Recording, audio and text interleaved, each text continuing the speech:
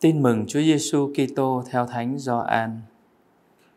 Vào chiều ngày thứ nhất trong tuần, nơi các môn đệ ở, các cửa đều đóng kín, vì các ông sợ người Do Thái. Đức Giêsu đến, đứng giữa các ông và nói: Bình an cho anh em. Nói xong, người cho các ông xem tay và cạnh sườn. Các môn đệ vui mừng vì được thấy Chúa. Người lại nói với các ông: bình an cho anh em. Như Chúa Cha đã sai Thầy, thì Thầy cũng sai anh em. Nói xong, người thổi hơi vào các ông và bảo, anh em hãy nhận lấy thánh thần. Anh em tha tội cho ai, thì người ấy được tha. Anh em cầm giữ ai, thì người ấy bị cầm giữ. Một người trong nhóm 12 tên là Tô-ma, cũng gọi là Đi-đi-mô, không ở với các ông khi Đức Giêsu đến các môn đệ khác nói với ông, chúng tôi đã thấy Chúa. Ông Tô-ma đáp, nếu tôi không thấy dấu đinh ở tay người, nếu tôi không xỏ ngón tay vào lỗ đinh và không đặt bàn tay vào cạnh sườn người, tôi chẳng có tin. Tám ngày sau, các môn đệ Đức Giêsu lại có mặt trong nhà, có cả ông Tô-ma ở đó với các ông. Các cửa đều đóng kín. Đức Giêsu đến, đứng giữa các ông và nói: bình an cho anh em. Rồi người bảo ông Tô-ma đặt ngón tay vào đây và hãy nhìn xem tay thầy, đưa tay ra mà đặt vào cạnh sườn thầy. Đừng cứng lòng nữa, nhưng hãy tin.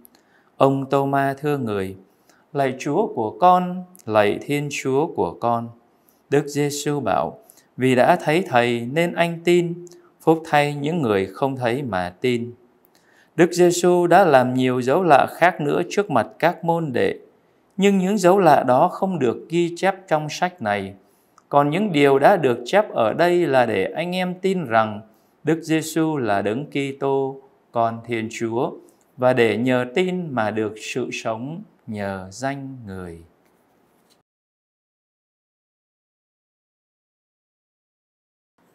Khởi đầu đoạn tin mừng Thánh Gioan thuật lại cho chúng ta về nỗi sợ hãi của các tông đồ khi các tông đồ đang đối diện với sự thật là Chúa đã chết. Điều làm cho các ông sợ hãi là bởi vì các ông không tin vào những lời chứng của những người đã gặp Chúa phục sinh cách trước đó. Hay nó khác hơn, biến cố Chúa chết và phục sinh đã được loan báo khi bà Maria Magdalena là một người đã đại diện, đã nói với các tông đồ, tôi đã thấy Chúa và bà đã kể lại cho các ông điều mà Chúa đã nói với bà. Nếu như chúng ta đọc lại trình thuật của tin mừng Thánh Gioan chương 20 câu 18 thì lời của bà Maria Magdalena đã chứng tỏ rằng bà đã thốt lên tôi đã thấy Chúa và tất cả những gì bà đã gặp bà đã truyền cho các môn đệ. Nhưng sứ điệp đó của bà Maria dường như vẫn không thể làm cho các ông thoát ra khỏi sợ hãi, khỏi những ngờ vực trong đầu của các ông. Kính thưa quý ông bà và anh chị em thân mến, Đoạn tin mừng Thánh Gioan chúng ta vừa được nghe thuật lại cho chúng ta. Vào buổi chiều ngày thứ nhất trong tuần, những cửa nhà các môn đệ họp đều đóng kín vì sợ người Do Thái. Có thể nói tình cảnh của các môn đệ lúc này là sợ hãi, đang trốn tránh, không đủ can đảm công khai để chứng tỏ mình có liên hệ cách mật thiết với Đức Giêsu Kitô. Họ càng không dám công khai để nói về vị thầy mà đã bị kết án cách bất công. Các ông sợ là bởi vì sao vậy? Bởi vì các ông chưa gặp được đấng phục sinh. Có lẽ sự hoài nghi của các ông cũng giống như sự hoài nghi của mỗi người chúng ta như ngày hôm nay vậy. Dù khi nghe nói là chưa đủ, con người chúng ta dễ bán tín và bán nghi đặc biệt trong khung cảnh mà người bị kết án oan đã chết. Lòng trí của các ông rối bời bởi vì chưa bình thản hết được những gì đã xảy ra cho mình. Và vì thế Đức Giêsu hiện đến đứng giữa các ông và nói rằng bình an cho anh em. Đây có thể được xem là lời chào hữu hiệu vì đây là lời chào của đấng phục sinh, đấng đang ở giữa đang hiện diện với các ông. Lời chào bình an cho các con. Không phải là một lời chào của xã giao, nhưng là lời chào để qua đó để trao ban ân huệ phát sinh là bình an, là sự vui mừng. Tin mừng được thuật lại tiếp. Người cho các ông xem tay và cạnh sườn người. Bây giờ các môn đệ vui mừng vì xem thấy Chúa. Có lẽ đây là một niềm vui được diễn tả bởi vì đã gặp gỡ đích thực đấng phục sinh. Niềm vui được gặp gỡ đấng phục sinh giờ đây đã được thực hiện hóa để xóa bỏ đi nỗi sợ hãi mà các môn đệ đang mang ở nơi mình trước đó. Niềm vui phục sinh giờ đây được các môn đệ kinh nghiệm khi đấng phục sinh đang đồng hành cùng với các ông, đang đứng ở giữa các ông. Như trong bài đọc 1 được trích từ sách công vụ tông đồ. Trong bối cảnh hoang mang lo lắng vì suy nghĩ Chúa không còn nữa. Chúa đã chết rồi và các ông không biết làm gì vì cảm thấy giây phút này đây tuyệt vọng một cách cùng cực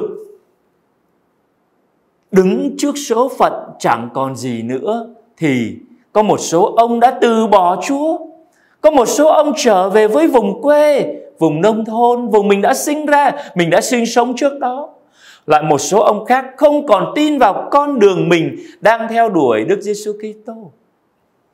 Nhưng chính trong lúc tuyệt vọng như vậy, giờ đây khi đấng phục sinh đã ở với các ông, thì người trao cho các tông đồ quyền năng đến nỗi có thể làm nhiều phép lạ. Nhiều dấu lạ điềm thiêng được thực hiện trong dân nhờ bàn tay của các tông đồ. Nhiều người tin theo Chúa và nhiều bệnh nhân từ khắp các thành quanh Jerusalem cũng lũ lượt kéo đến, đem theo những kẻ ốm đau cùng với những người bị thần ô uế ám và tất cả họ đều được chữa lành. Như thế có thể nói được niềm vui gặp gỡ của Đấng Phục Sinh đã tác động cho nhiều người tin vào Chúa và nhiều người được ơn chữa lành. Và đó cũng là, chính là niềm vui của mỗi người chúng ta. Không thể là niềm vui một cách dễ dàng nào nếu như không thể là niềm vui tự phát nếu như chúng ta không có kinh nghiệm gặp gỡ, đấng phục sinh thực sự niềm vui sống lại là niềm vui chỉ đến sau nỗi sợ hãi mà thôi trước sự sợ hãi thì con người chỉ đạt được niềm vui khi vượt qua được nỗi khốn khổ vượt qua được sự sợ hãi trong chính cuộc đời của mình đó có thể nói là niềm vui khởi nguồn từ một tình trạng hoàn toàn tuyệt vọng với cái chết của một kẻ bị đóng đinh, bị treo trên thập giá như vậy và trở đi từ nay không có gì có thể cướp đi khỏi các tông đồ nữa. Đó là niềm vui và sự bình an nhờ lòng tin nơi Đức Giêsu Kitô. Cộng đoàn phụng vụ thân mến, niềm tin và sự bình an nhờ lòng tin vào Đức Giêsu phục sinh cũng là lời mời gọi dành cho chúng ta trong Chúa Nhật hai phục sinh ngày hôm nay. Chúa Nhật hai đặc biệt kính lòng Chúa xót thương. Niềm tin và lòng Thiên Chúa xót thương dành cho tất cả những ai tín thác nơi Đức Giêsu. Và vì vậy, lòng tín thác đòi hỏi nơi mỗi người chúng ta thái độ phải tin tưởng để gạt đi những ưu sầu thất vọng về thể chất cũng như tinh thần. Để qua đó, chúng ta biết san sẻ và gắn bó với nhau như lời Đức Giêsu đã phán qua thánh nữ Fatima. Cha yêu cầu, Cha yêu cầu những việc từ bi bác ái là những việc được thực hiện vì lòng yêu mến Chúa Cha. Các con phải tỏ lòng thương xót đối với những người lân cận, luôn luôn và ở mọi nơi các con không được tránh né bổn phận đó, hoặc tìm cách thoái thác hay miễn chuẩn cho mình khỏi thi hành nhiệm vụ ấy. Cha ban cho các con ba cách để thực thi lòng thương xót đối với tha nhân. Thứ nhất là bằng hành động, thứ hai là bằng lời nói, và thứ ba là bằng việc cầu nguyện. ước gì về phần của mỗi người chúng ta. Chúng ta luôn được mời gọi ý thức về sự hiện diện của chúa phục sinh đấng luôn ở bên cạnh chúng ta. Và chúng ta luôn luôn được mời gọi đáp trả. Hãy tin tưởng và hãy nương tựa vào chúa. Đấng là lòng xót thương. Để nơi đó chúng ta biết phó thác chúng ta biết tín thác cho người. Để qua đó niềm vui gặp gỡ đấng phục sinh luôn là quà tặng để chúng ta biết trao ban cho những người chúng ta gặp gỡ trong cuộc sống. Và như vậy thì lời của Đức Giêsu Kitô qua thánh nữ Fatima, và những việc mà Chúa mời gọi đó là bằng lời nói, bằng hành động, bằng cầu nguyện để khi đó chúng ta trở thành những chứng nhân của chứng nhân của lời nói, chứng nhân của hành động, chứng nhân của đời sống cầu nguyện để chúng ta trao ban tin mừng phục sinh, trao ban niềm vui phục sinh, niềm vui bình an mà Chúa phục sinh tăng, ban tặng cho chúng ta và chúng ta trao cho anh em, chị em của chúng ta.